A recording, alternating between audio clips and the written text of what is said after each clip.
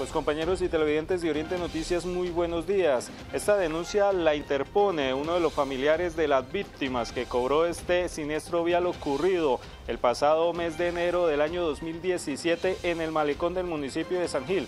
Manifiesta que hasta el momento ninguna entidad, autoridad o persona ha respondido por esta tragedia hablando en la Procuraduría y en todos los entes gubernamentales a ver qué pasó, porque nosotras las víctimas no hemos eh, recibido ni siquiera una llamada, ni de nadie, hemos estado hablando, venimos cada rato que a la Procuraduría que Nacional de la... No sabemos ni siquiera dónde dirigirnos, pero no ha sido posible que haya una reparación con ninguno de nosotros, ni siquiera ha habido la primera audiencia, no han llamado o sea, realmente no sabemos qué pasó porque fueron cinco personas las que fallecieron y a nosotros no nos ha respondido nadie.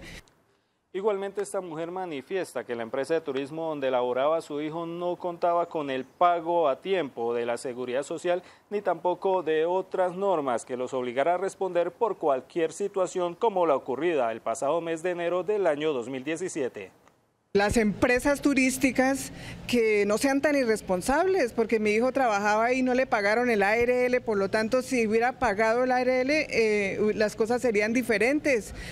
no hay quien responda, ni aseguradora, ni nada. Entonces, ¿cómo viene alguien y cómo tienen un poco de jóvenes ahí trabajando sin ni siquiera lo, básico que es eh, pagar una seguridad social? Entonces, están, se pasan estos accidentes y no hay quien responda, ni por los empleados que son alto riesgo, con unos equipos obsoletos que, que manejan ahí y que no hay una ente gubernamental como la alcaldía, no sé quién le corresponde que esté vigilando. Esta es toda la información por el momento desde el municipio de San Gil. Continúen compañeros con más noticias desde estudios. Este fue un informe de Heriberto Mariscal Gómez para Oriente Noticias.